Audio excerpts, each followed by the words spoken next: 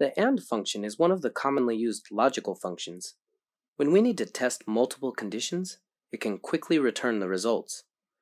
It'll return true if all the arguments evaluate true. Otherwise, it'll return false as its result. The syntax is stated as follows. AND, logical 1, logical 2. Logical 1 is the first condition, while logical 2 is the second condition to evaluate, and up to 255 arguments are allowed in AND function. Take this table as an example. With the sales target of each quarter, we need to determine whether the sales performance of the employees in the table in each quarter is up to standard.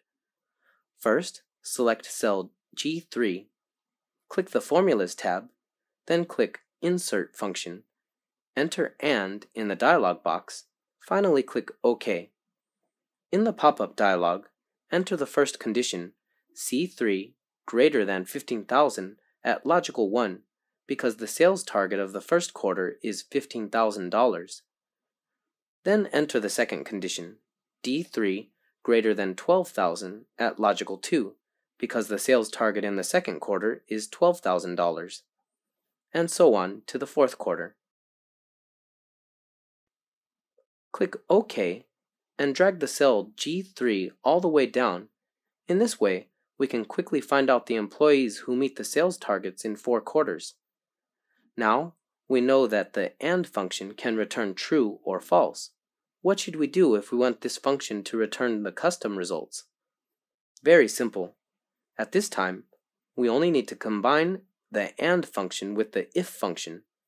Select cell G3 Enter the if function in the formula input box above and nest the AND function.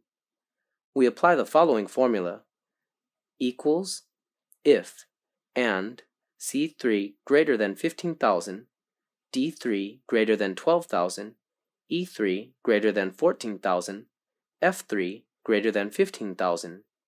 Reach unaccomplished. It means that if all the conditions are met, we will return reach. Otherwise, we will return unaccomplished, and the content of the results can be customized. Tips When you enter the formula, don't forget to use commas to separate each condition and add double quotes to the returned text. In addition, the AND function can show other powerful features combined with other functions. Follow WPS Academy for further study.